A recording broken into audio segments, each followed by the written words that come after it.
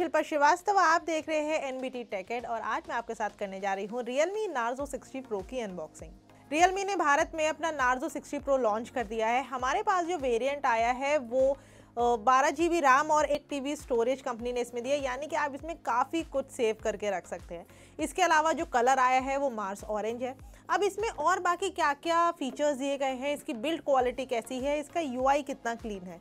अगर आप ये सब जानना चाहते हैं तो हमारा वीडियो एंड तक देखें।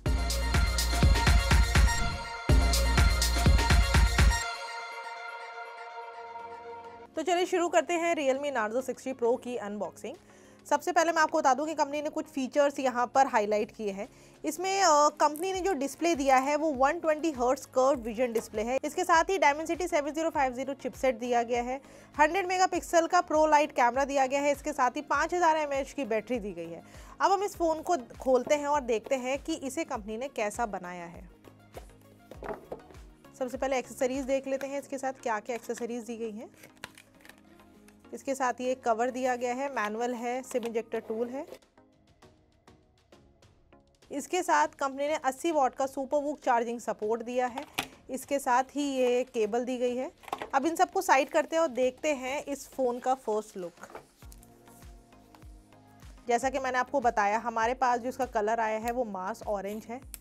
तो इस फ़ोन का लुक देख के आपको कोई फ़ोन आई एम श्योर ज़रूर याद आ रहा होगा। रियलमी का ही फ़ोन है, जिसे अभी हाल ही में लॉन्च किया गया है। Realme 11 Pro plus Pro plus में और प्रो में दोनों में सेम डिज़ाइन दिया गया है सेम ये पैनल दिया गया था। बस वहाँ में जो यहाँ पे स्ट्राइप थी, वो स्ट्राइप इसमें नहीं है और यहाँ पे नार्जो की ब्रांडिंग दी गई है। इसका जो ये वाला पैनल है, ये भी लेदर फिनिश में ही दिया गया है।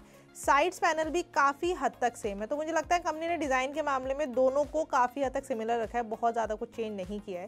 हालाँकि मुझे real me eleven pro plus का डिज़ाइन भी काफ़ी पसंद आया तो मुझे ये फ़ोन भी डिज़ाइन के मामले में काफ़ी अच्छा लग रहा है। तो अब इस फ़ोन को ऑन करते हैं और देखते हैं कि इसका जो यूआई है, वो कंपनी ने कितना क्लीन बनाया है और इसमें बाकी फीचर्स क्या क्या दिए गए हैं।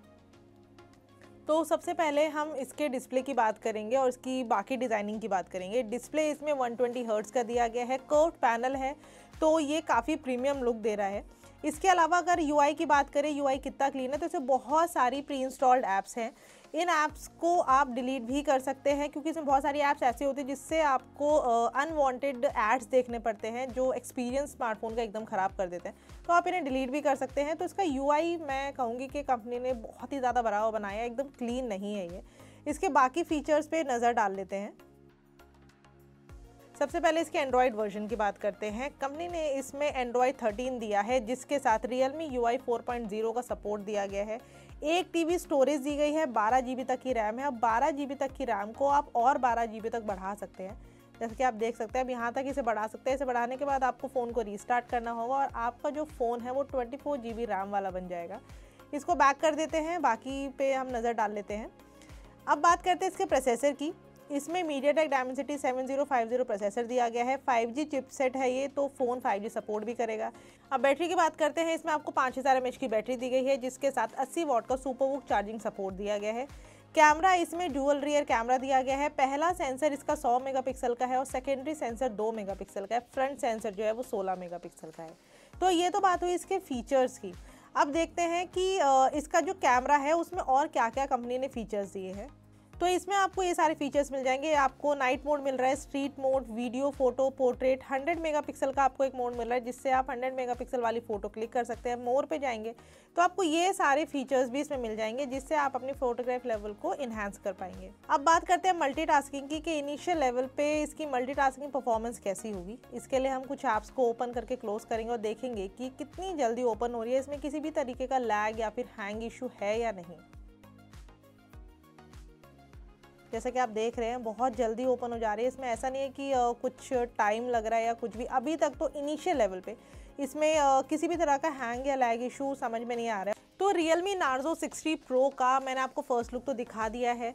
इसका जो डिज़ाइन है वो मैंने आपको बताया कि Realme 11 Pro सीरीज़ के जैसा ही है। इसके अलावा इसमें और भी बहुत अच्छे अच्छे फीचर्स हैं। तो डिज़ाइन के मामले मुझे पसंद आया है और इसके जो फीचर्स है, सबसे ज़्यादा जो मुझे इसका फीचर पसंद आया है वो है इसकी एक टी स्टोरेज तो बारह जी रैम और एक टी स्टोरेज का कॉम्बिनेशन जो है वो काफ़ी अच्छा है। बहुत टाइम बाद आई गेस पहली बार ही देखने को मिला है। तो इतनी सारी स्टोरेज के साथ आप कितना कुछ इसमें सेव रख सकते हैं, आप खुद ही सोच लीजिए। तो इसका डिज़ाइन इसके फीचर्स इसकी कीमत मुझे सब काफ़ी अच्छा लगा है। अब ये रिव्यू के टाइम कैसा परफॉर्म करता है? इसकी ओवरऑल परफॉर्मेंस कैसी होती है, ये तो हम आपके साथ बहुत जल्दी शेयर कर देंगे। तो अगर आपको हमारा वीडियो पसंद आया हो तो उसे लाइक और शेयर करना ना भूलें। साथ के साथ एन बी टी को सब्सक्राइब करें।